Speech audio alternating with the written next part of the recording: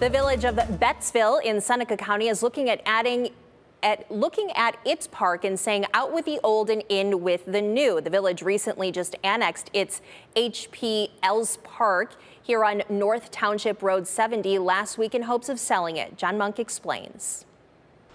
HP Eells Park has been a part of the Bettsville community for decades, but the baseball fields have gone without league play for years, and Village Mayor Scott Harrison says the village can no longer afford the liability insurance and lifeguard payroll for the quarry, as all of the upkeep for the park was paid for by the former Bettsville School District, which merged with Old Fort Schools a few years ago. The village has been maintaining the park and trying to keep things uh, mowed and, and things like that, and, and maintain the park facilities, etc.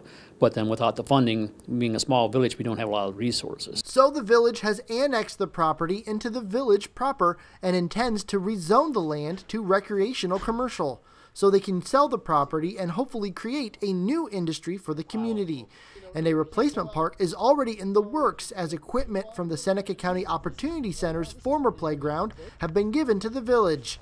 And the plan is to set up a new village park in this 10 acre area next to the village offices complex and another nearby dog park and wildlife area. If we can take that money then and roll over into the park and, and get the walking trails and stuff, and then I think that's is going to be a win-win for the community because we'll have income coming back into the community, and plus we'll have new parks that are more conducive to the dog walking and things that people are doing today.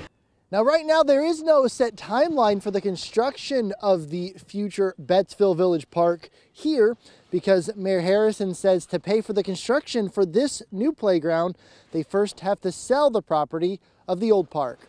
Reporting from Bettsville, I'm John Monk, WTOL 11.